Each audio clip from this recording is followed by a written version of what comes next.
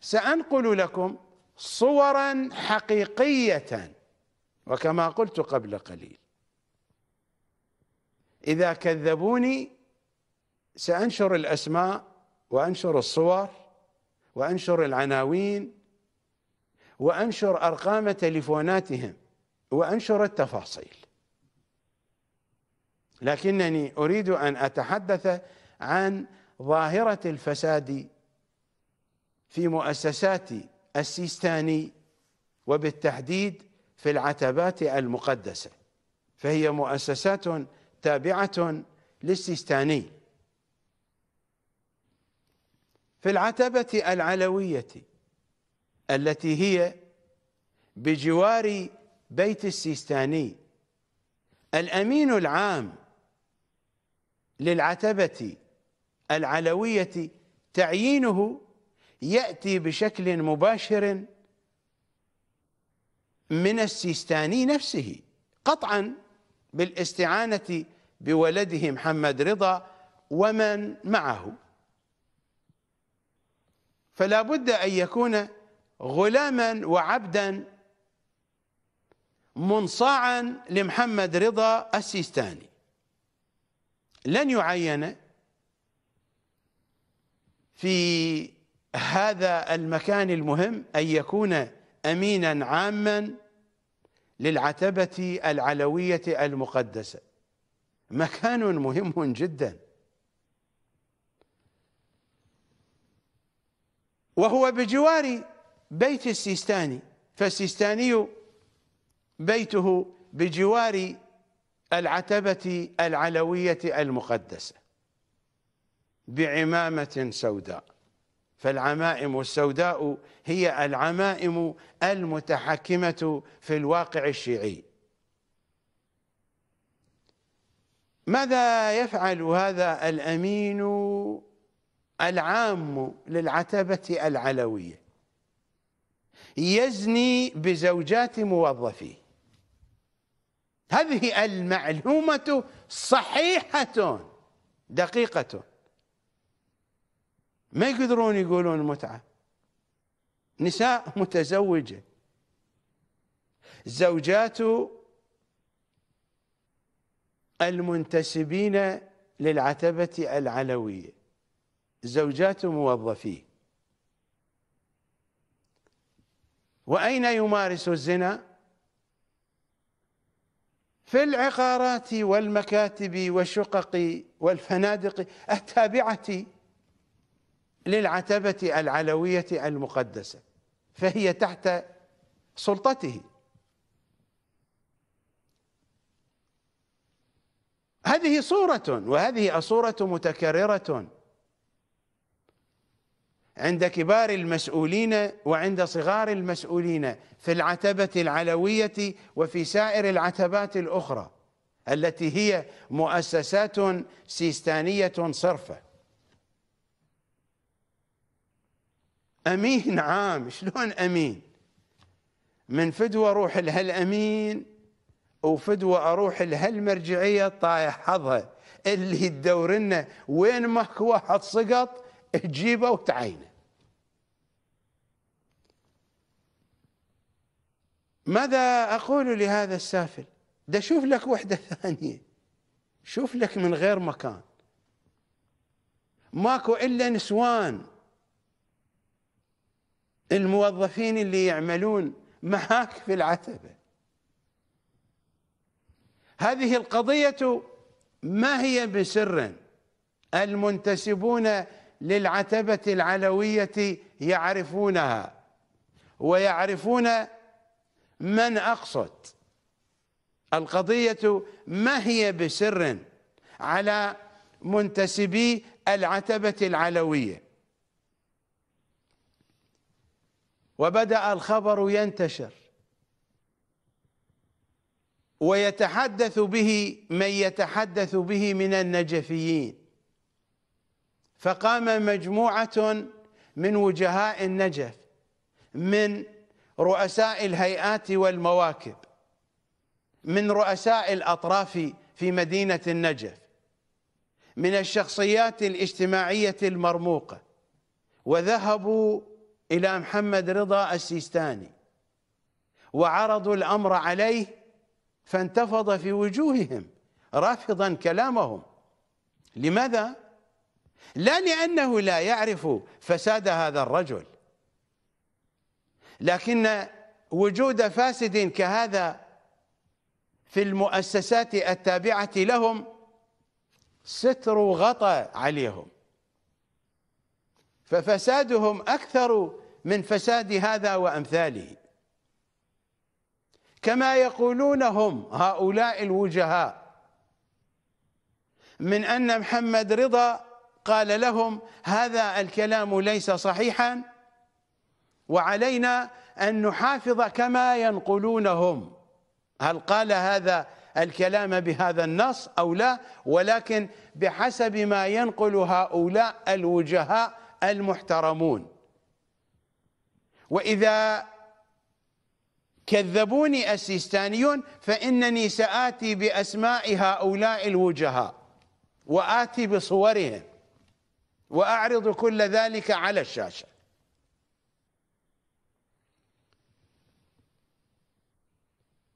يقولون من أنه قال لهم هكذا علينا أن نحافظ على بيضة الإسلام.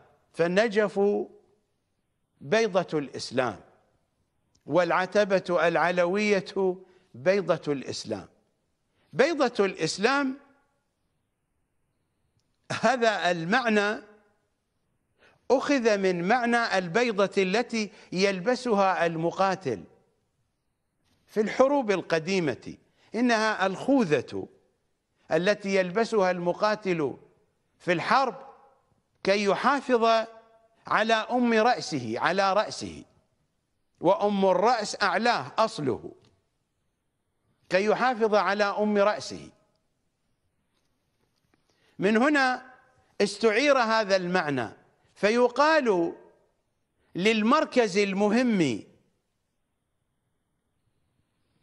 في أجواء المسلمين وفي أجواء الإسلام يقال له بيضة الإسلام. قطعا كلمة البيضة لها دلالات. أنا أعرف أن بيضة الإسلام بهذا المعنى أو ما يقاربه من الذي أشرت إليه لكنني ما كنت أعلم أن الإسلام له خصية يقال لها بيضة الإسلام خصية الإسلام. الحفاظ هنا على خصية الإسلام والمسلمين وليس على بيضة الإسلام والمسلمين. إذا كان محمد رضا قد قال لهم هذا الكلام كما ينقلونهم.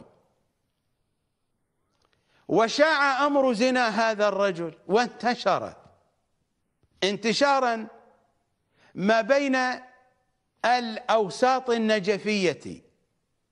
من كبار النجفيين.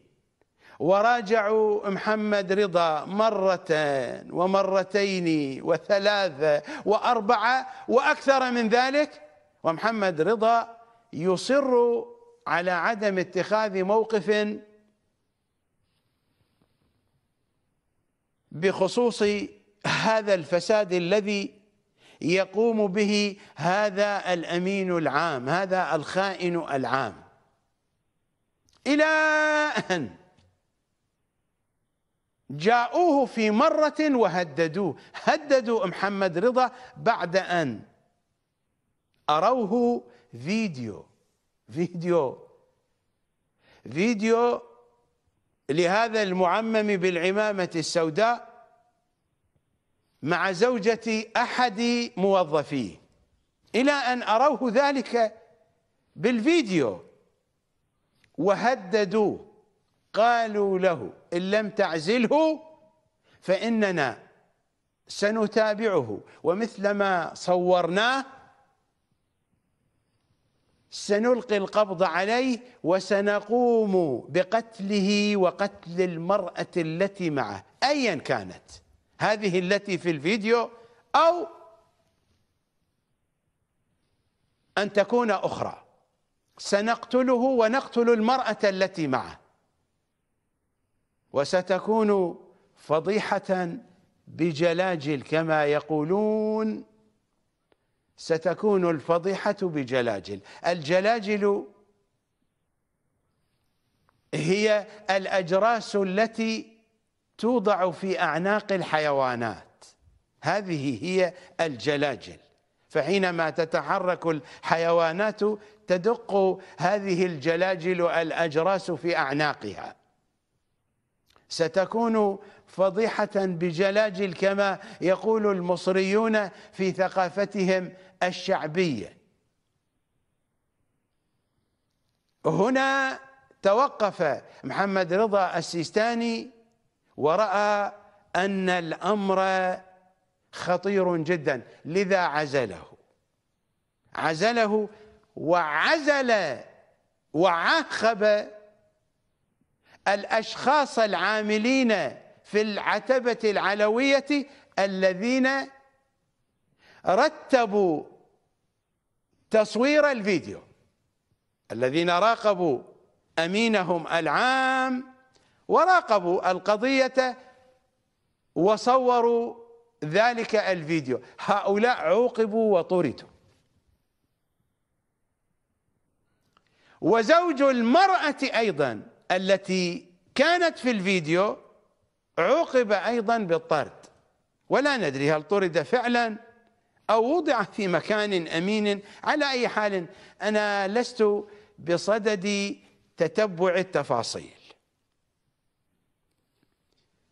طردهم للذين صوروا الفيديو أدل دليل على أنهم عالمون بفساده على أنه يفعل ما يفعل.